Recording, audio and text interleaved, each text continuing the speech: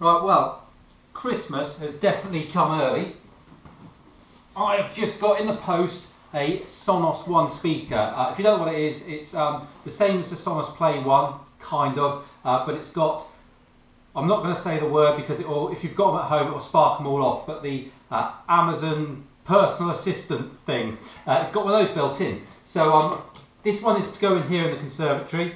The one that I've got in the conservatory is going to go in the lounge to match the other one I've got. So I've finally got a set of stereo speakers in there.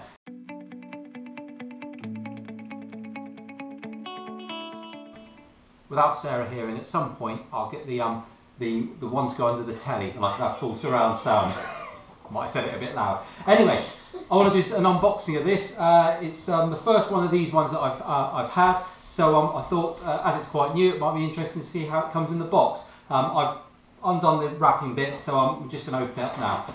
But uh, looking in the box, it does look much the same as the Play 1 when it comes. So you've got uh, the top level, which is kind of the instructions and bits and pieces. And then Annabelle, can you take that very carefully? It's quite heavy, isn't it? There we go. And then the speaker itself, which um, again, same as the Play 1, it comes in this kind of uh, material case. Slip that out, there we go. There's the speaker, so careful, careful. Got it? Got it. Is it heavy? Yeah. Really heavy. So the difference is, uh, can I hold it? Yeah. Thank you. So it looks much the same, but hopefully you can see on the top there, that is the um, the personal assistant thing from Amazon. uh, yeah, so uh, you the the um, the top is slightly different, and actually, if I get my current one, so that's this is a play one, and obviously this is the one. Um, same size. Looking at it, uh, the grill on the play one is grey, where this one's all black uh, and the top obviously um, slightly different controls. Uh, this one's going to be mainly voice activated, but it has still got uh, it looks like skip forward and backwards, play and pause on top. So um, I'm probably without reading the instructions, I don't know if this is these are skip or volume buttons, but um, we'll find out in a minute. So much the same, actually, probably weighs slightly more as well, but not a lot more. Okay, also in the box, uh, underneath the um, packaging, got a um, cable to plug it into the internet, but obviously it's um, it's Wi-Fi, so um, I don't tend to use those, and um, it's plugged, and that is pretty much it in the box. So I'm going to get it set up and see how it works. Right, so what we've done so far is we've uh, plugged it in, turned it on, and uh, you can just see there's a green flashing light on top. So uh, the next thing to do is log onto the app and uh, see if we can um, find it and get it connected. Right, well I'm not going to subject you to a, a whole video of me setting that thing up. Uh, needless to say, I got it going. It wasn't the easiest thing to set up for some reason. It wasn't as easy as the other speakers, and I've got uh, another three Play Ones in the house. Uh, for some reason, it couldn't find the Wi-Fi, uh, so in the end, I had to plug it in with the cable. Uh, get it set up, take the cable out, put it where I wanted it, and it worked. Uh, it's all connected up now, and it works lovely.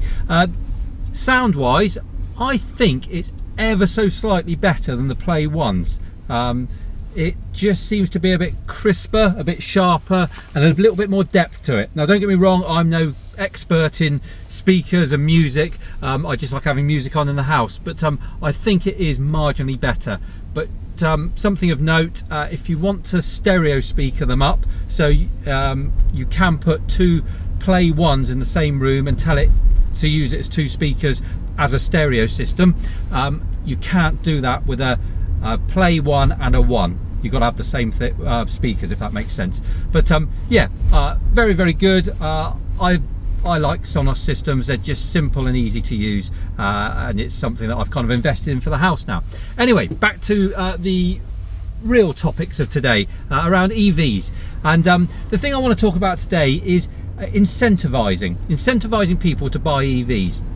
Um, as it stands at the moment, the incentive kind of is the cost of running them. Not necessarily the cost of buying them, because uh, on the whole they're probably a bit more expensive. Uh, it's just that running cost. But in order to encourage us to buy them, what we're finding is governments, local authorities, they are uh, giving us incentives to help us um, to, to buy them, to help them to be more affordable and um, to make people want to buy them and use them in and around their cities. So we've seen things like, uh, certainly here in the UK, when I bought this car, uh, there was a government grant of £5,000. So that was taken off the list price straight away. Uh, and I believe there are still the, the, same grants around at the moment. And I know in different countries there's different grants. I know uh, certain areas of America there's been a bit of toing and froing, uh, but they seem to be on the whole keeping them.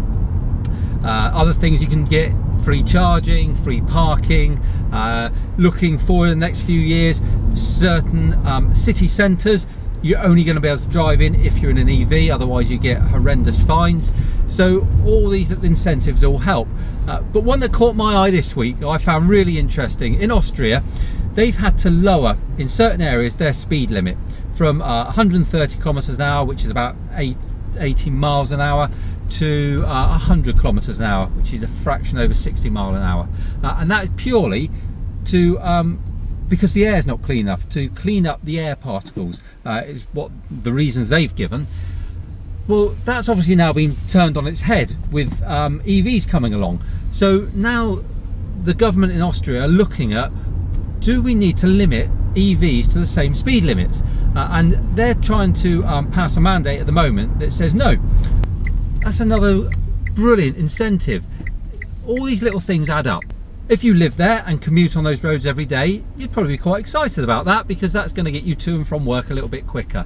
So you add that to um, your money off, your free parking, your free charging, the grants that you can get for um, certain companies to put chargers in, so you might have a charger at work. Uh, all these little things start adding up now. And um, as the batteries get better, cheaper, further range, you put all this together and this is what is going to drive people to buy uh, EVs um, and I can only see more and more of it happening. Certainly, I've spoken before about Oxford here in the UK, how they're going to um, initially the very centre of their city is going to be a ban on EVs, and that's going to grow and grow and grow. The same's going to happen with other cities. It's going to have to. Uh, it's all about uh, air pollution, and we just see more and more and more of it.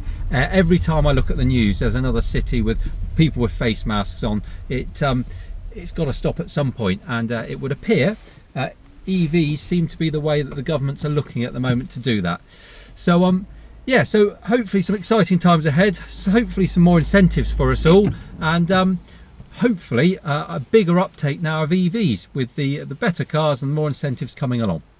Um, so uh, that's it for today. Uh, I know I said I'd probably uh, do the car wash for that new snow lance I had. At the uh, detergent car wash stuff hasn't turned up yet so hopefully that'll be in the next one but um, for now if you've enjoyed today's vlog uh, remember to uh, give it a thumbs up and share it and um, if you're not doing so already subscribe to the channel uh, and you can find me on uh, Twitter and Instagram at EV Opinion. Uh, I'll see you again next time. Take care.